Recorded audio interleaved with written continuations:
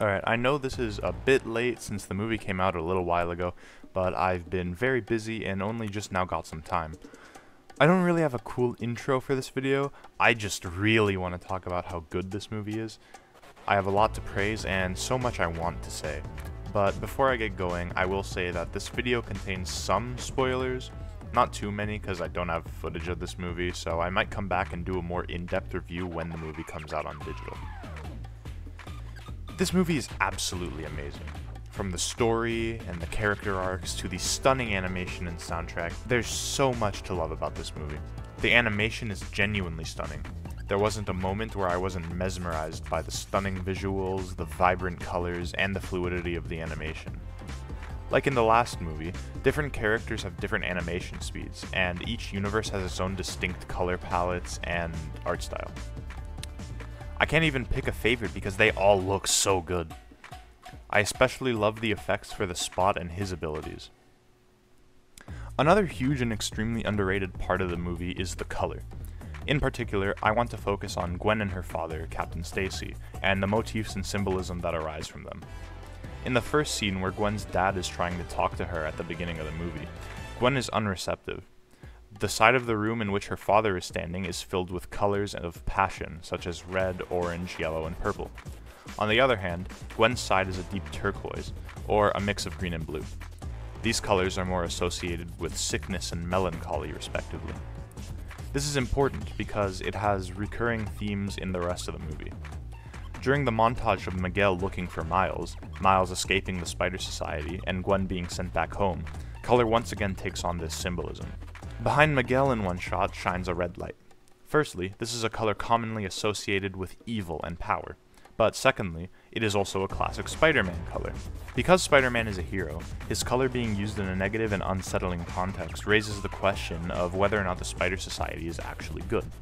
For Miles, he is swinging in a turquoise-tinged city, again, associated with the despair he is feeling in his panicked state there are also small pop-ups of red, representing the converging Spider Society as they get closer and closer to Miles.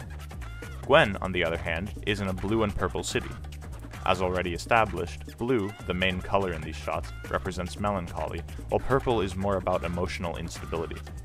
These two create a tone in which Gwen is upset because she has been sent back home, but her panicking and impulsive destruction of her surroundings puts her in an unstable and emotional mindset. Finally, the scene where Gwen and her dad meet again bears significance. This time, Gwen is appealing to her father, who is in a depressed state after losing his daughter and resigning from his job. Gwen, this time, is in the bright colors, in this case being pink. Captain Stacy is now the one in the turquoise. In the moments when her appeal is working, the background becomes white with squiggles of the same red, orange, yellow, and purple from the first scene behind both people. Finally, when they have reconciled, the background is a white color, a symbol of purity and healing. You can see how the colors are a subtle way of conveying the story, while also providing context and continuity between scenes. The soundtrack is also amazing. Daniel Pemberton is a musical genius. The soundtrack for both Into the Spider Verse and Across the Spider Verse are awesome, and I haven't seen enough people giving it the credit it deserves. The quieter moments are impactful, and the grander moments hit so hard because the themes and leitmotifs are awesome.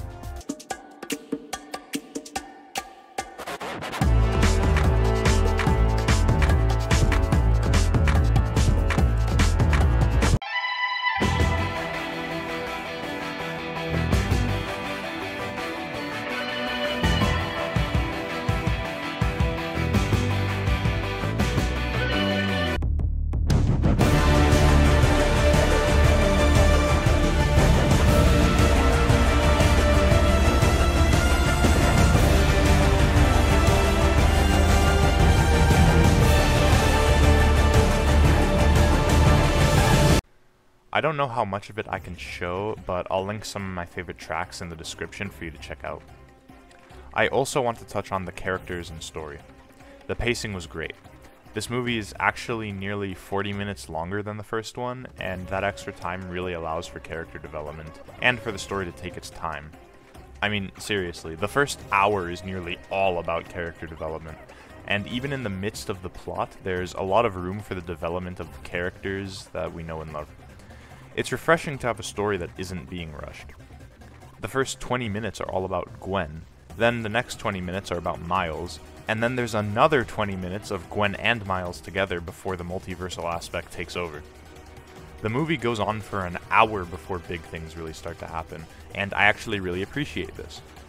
It's become a trend where superhero movies rush into their plot lines, and it's something I didn't even know I was tired of until I watched Fight Club. Similar to Across the Spider Verse, Fight Club takes its time when introducing plot details. Tyler Durden, one of the main characters, is first introduced 22 minutes into Fight Club. In this movie, the spot is also introduced at the 22 minute mark. An hour of character development is used so well that I didn't even realize we were halfway through the movie by the time Miles actually follows Gwen through the portal. In terms of the spot, I will say that he's a great villain. He feels like a normal guy, and I actually love that. Rather than an over the top villain like we usually get, it's a breath of fresh air to see a villain who's just a dude. He's mad that Miles accidentally turned him into the spot, which in turn made him lose everything. It's understandable, and like I said, the spot jokes and quips and acts like a normal person, which I love. However, there is a scene in one of his fights that is a little bit too silly for me. It's where he kicks his own ass into a multiversal realm where he finds out he can travel the multiverse. I know that you're not supposed to take Spot seriously until it's too late, but that should come from Miles' cocky attitude, not from the Spot being overly incompetent. It would have been better if the Spot just got too angry and accidentally opened a portal into that multiversal realm. Around the hour mark, when Miles follows Gwen to Mumbattan on Earth 5101, the movie really gets good. It was good before, but it just gets better. We get introduced to Pav, and he's immediately a great character. Then we get introduced to Spider Punk, who I went into the movie thinking I wasn't gonna like, but he ended up becoming one of my favorite characters. Plus, there are a ton of parallels and callbacks that stem from this part. When Pav has to choose between saving two lives, he says, I can do both, which is something that Miles repeats when he has to choose between his father and the multiverse. Doing both is a common motif in this movie, like when Miles is late to the school meeting and the counselor says he can't have his cake and eat it too. Miles' response to that was, just buy two cakes, Gwen tries to stop Miles from breaking a canon event, and Miles thinks that she was trying to protect him. Her response to that was, I was doing both. It's cool to look back on and see these little hints and repetitions that play into the themes and character development of Miles and Gwen. I actually love the fact that Spider Society comes with a bunch of cameos, but none of them are focused on. They are pretty much solely to enhance the story, and if they aren't part of the story, then they have a moment to shine and we quickly move on. Multiverse of Madness should take notes because this is the gold standard for a multiverse movie. When we get to the Spider Society, the movie once again gets even better. The scene where Miles learns that his dad is going to die is intense, and the tension just keeps on building and building, and it's so fucking good. This builds to a head when Miles is imprisoned, but he breaks out with Hobie's help and ends up being chased by the whole Spider Society. This part was exhilarating, and I was hooked throughout the whole thing. The confrontation between Miles and Miguel on the train was awesome, especially because Oscar Isaac is amazing as Miguel, and you could feel the malice in his voice as he just ripped into Miles. You could also feel the impact of his attacks, which is another testament to the animation. This entire sequence is the final fight of the movie, and it leads to a really big twist and a really big cliffhanger. Right before going into the movie, I was told that I would love the ending, so I expected something big to happen, and I predicted what the twist was going to be. So there were multiple points near the end where I thought that the movie was just going to cut to black and have a to be continued. I was right, because that did happen, but it just didn't happen when I expected it. I would love to go more in depth about the ending and about my thoughts of the movie, but I don't have enough footage to go through it all, so I'm going to call the review here. I will definitely make a longer video when the movie comes out on digital, so you can expect that at some point.